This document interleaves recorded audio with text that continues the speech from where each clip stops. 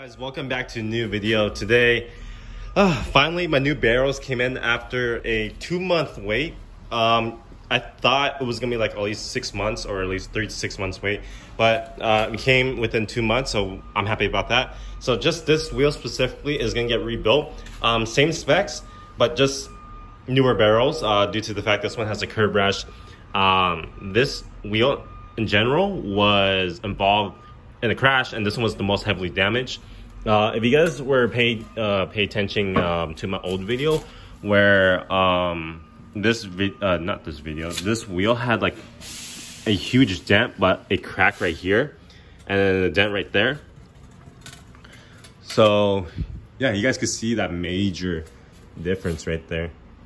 Uh, anyways, um, this is finally gonna be replaced. Um, so if I knew these barrels were gonna come sooner, I would have not fixed this wheel. So if I knew, but uh, they finally came in. They're in here. Um, I'm gonna be dropping these off at my friend's house uh, since he he knows how to assemble this uh, correctly. I want this to be done correctly. When it comes to three-piece wheels, uh, two barrels can be attached together, and then of course this um, seal has to be sealed properly. And then I'm gonna be reusing this old um, air valve and it should be all set. Uh, other than that, um, yeah, air tends to leak out here mostly. So um, just to reseal it correctly, uh, just make sure you guys apply a thick layer or you cover up most of the cracks so air won't leak out. To seal it, you're gonna, you guys are gonna use the silicone right here. Um, I could just do this myself right now, but I don't have the uh, specific rivets or screw for these nuts. I don't, I, I really don't have it. So, and my friend has the proper ones. So he, he's gonna do this all for me. And yeah, uh, pretty expensive. Um, I'll be dropping it off to him by later today and hopefully he could be done in like a day or two. So I have the tires mounted and then I'm gonna be handing him off um, this as well. Just gonna put this right here. Yeah, so far the uh, SSRs are on the TL. Uh, it kind of looks weird with those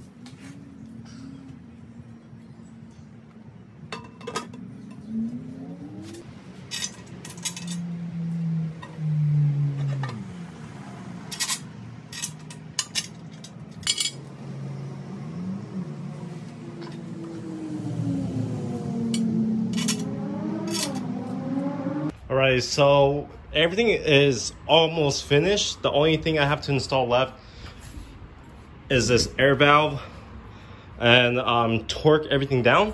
On top of that and then just seal this portion um, of the crack so it won't leak. And then we should be set. Um, and then we could mount the tires now. So uh, but the thing is what I noticed that um, the barrel the inner barrel does not have an insert for the air valve, which is right here. So it goes like this, but there's no insert from the barrel at all. So there's a possibility my friend might have to drill. And uh, I'm pretty sure it's possible. Um, yeah, I'm just gonna let him do it since he's the professional. He, he has worked on this. But all the bolts I did are hand tightened. Uh, they're not torqued down, um, so it's not really drivable yet, nor is it like drivable in general because of this. So um, yeah, I'm gonna be stopping by my friend's house and then have him finish it up and then mount the tires to see how. And so far, everything looks really good. Wow, looks so good. So, yeah, just need to mount the tire, then set.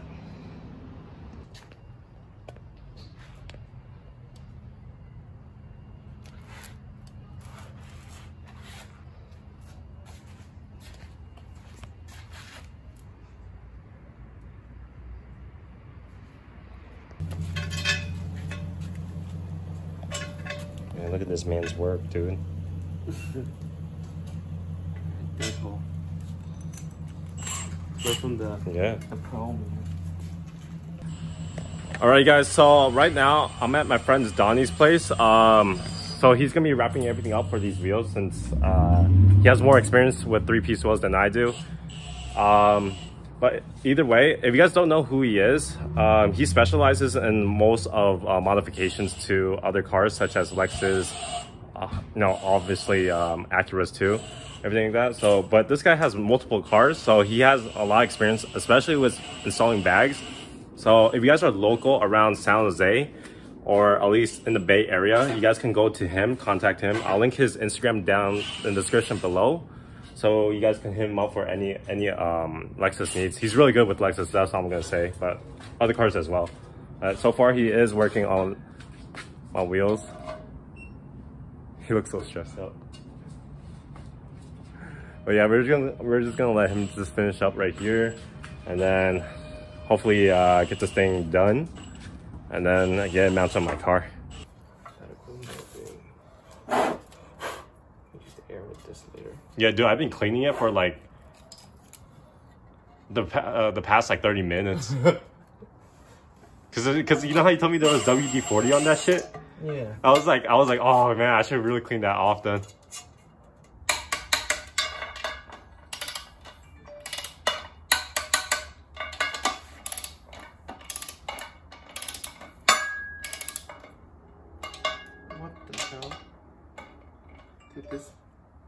Strip? Right?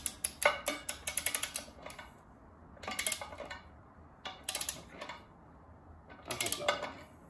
Some of them were not tight though. That's the thing. Okay. That scared me, bro. That moved a little bit too freely. The hell. Yeah, see how these holes are weird, bro. They're Hmm. not straight. Okay, or they're too um big, right? Cause look. Oh my god. I hate how it's at an angle.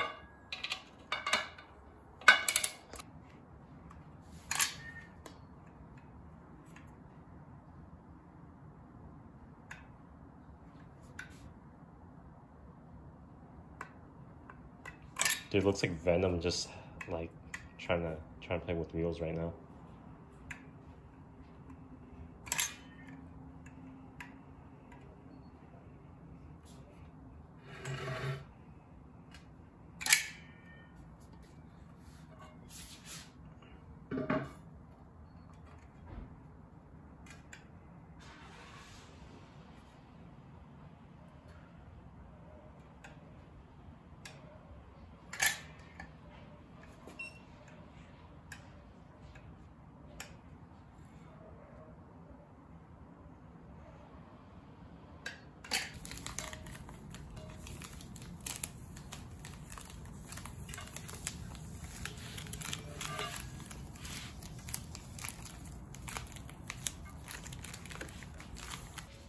Alright guys, so we're pretty much done with putting together the wheel.